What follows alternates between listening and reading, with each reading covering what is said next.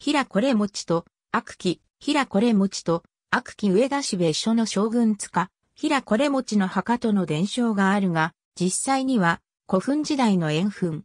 国の天然記念物、三木回り日本一将軍杉と、手前は、星名正幸が建てた、平これ持ちの墓碑。平これ持ちは、平安時代中期の武将。大城これ持ちとも呼ばれる。平繁盛の子として誕生。今昔物語集によると二話とも、平貞盛の弟、陸森平繁盛の孫で上佐助、平県中の子とされているが、叔父、貞盛の養子となった。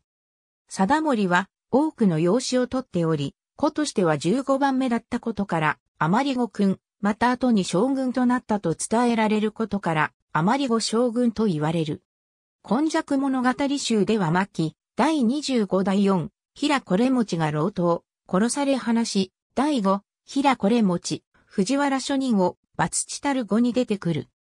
また、五周養生伝中間には、平これ持ちが仏教に帰依したことが綴られている。絵心院の原神創図に帰依し極楽往生を願い、臨終間際に極楽芸説曼荼羅を授かったとし、去年80歳と記している。あずま鏡の大発刊の文治4年9月14日の上には、上四郎長茂の祖先が平これ持ちだと書いている。現行釈書にも、五周養生伝とほぼ同じ記述がある。その他、信濃守の頃の伝承は、脳の演目、もみじ狩り等として激化されており、広く知られる。孫皮文脈では、平貞盛の弟、繁盛の子で、県中の弟とある。官位官職には、陳樹不将軍、信濃守、15以上。その他、立脇翼、山城祈祷流、世人号余り後将軍の中期がある。俗軍書類中収録の官務兵士系図でも、繁盛の子となっており、同将軍号余り後、将軍では助と中期がある。それ以外には、同時代の記録に見えないことから、野口実は、中世東国武士団の研究、平これ持ちと平これ長において、平県中のこの陳樹不将軍、平これ長と同一人物という説を展開している。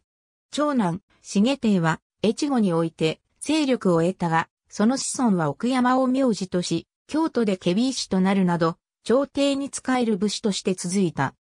子孫には、奥山戸、重や、その娘の阿仏にがいる。三男、藩母の子孫は、秋田城之助として、越後国に土着し、重帝の子孫に代わって、越後で繁栄した。紅葉伝説も山椒長野県旧戸隠村、旧木 NASA 村など記女紅葉伝説があり、直命を受けた平これ持ちが八幡大菩薩より授かった覇者の刀でこれを退治する話が広く伝えられている。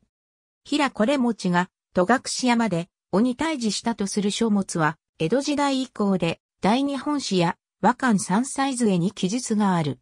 また、信濃の知史である神父陶器菅井真澄遊覧記の記述、信濃記小録、全校児童名所図絵等々に記述がある。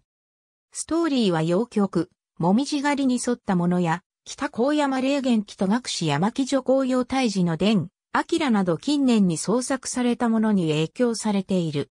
平これ持ちの墓所とされる、新潟県東神原郡阿賀町三河には、これ持ちの夫人が川に身を投げた伝説がある。これ持ち夫人は、午前が幽屈という山深い洞窟に住んでいました。夫であるこれ持ちの式が近くなり、3月10日の明け方までに来なければ間に合わないと知らせが届きました。夫人は急いで夫のもとへ駆けつけるが、夜明けの鳥の声を聞き、夫の死を悟った夫人は、阿賀野川へ身を投げてしまいます。身を投げた場所を午前が花と言います。しかし鳥の声は、天の弱のいたずらだった。それ以来この土地の人は鳥を食べないと言われます。孫皮文脈による。今昔物語集では、平県中とされる。孫皮文脈による。重生、または手芸。柳田氏の祖。明治19年に作られた小説。騎女紅葉の生い立ち、戸隠に流された理由や平これ持ちとの戦いを書いている。発行は明治36年で3版作られた。